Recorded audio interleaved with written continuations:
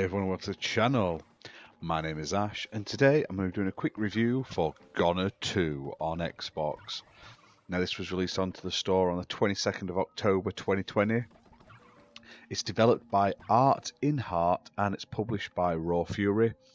And they were kind enough to send me a copy of this game for this video, so big thank you to them for that. Now, I recently covered the uh, original Gonner game on the channel. If you haven't checked that video out, feel free to go. It's in there on our reviews playlist.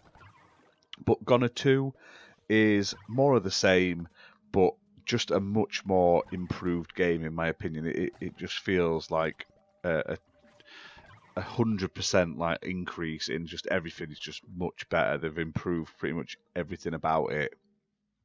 So it says uh, the unexpected hero Ikk is back, and this time Death needs his help. Her lair has been taken over by a mysterious presence, and she needs Ikk to take it down.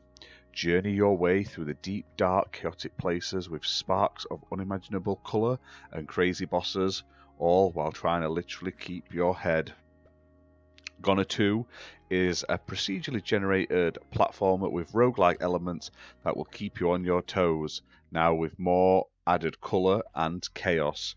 And like I say, um, it improves everything in my opinion. The gameplay itself is pretty much the same as it was previously, except now the graphics have definitely had a, a, nice improvement to them. The way it handles just feels better. The the gun combat feels better. Everything just feels better in my opinion. Um, the enemy design looks cooler. You've got like breakable um, blocks and stuff. Um, it, it it just feels smoother. It, it's like how the original game should have been. And the original game is really good. Like I say, it's hard, uh, but and it was very serviceable. It did, it did what it said on the tin. But this one, like I say, if you had to pick one or the other, I wouldn't even go near number one anymore. I would only go for number two because two is absolutely fantastic. So you get this crazy sort of shooter action um, as this character you can take hits, but if you take hits, you sort of fall apart and you just become like a blob, and you have to sort of put yourself back together, get your your skull, your backpack, and your weapon. Um, all the levels are procedurally generated, um, and there's no sort of linear level structure. So every time you die, you sort of regroup, get your kit together, and go back in over and over again. Um, there's cool boss fights with like sort of crazy boss characters. One of them was like this ostrich bird type thing, which was pretty funny. Um, I quite like that one. It was really cool.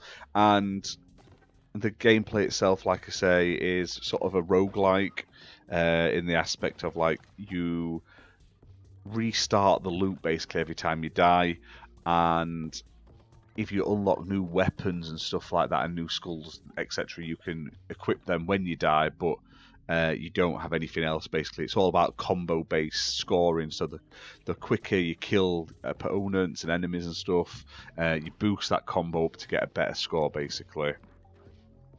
Now, um, apparently, this game also has a party co op mode compared to the original one.